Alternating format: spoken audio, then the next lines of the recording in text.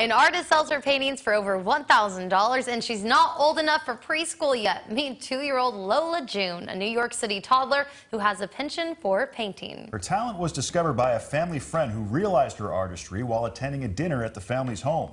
Now Lola June has already had two shows at a Manhattan art gallery, with her work selling for 300 to $1,800. Uh, wow. I know. My two-year-old can finger paint, but I, I mean, Just try selling his paintings, see if maybe you maybe can get one that day. I money. don't know. Look, college fund is already set for that young lady. there you go. Put that all in the account. She's set. Oh.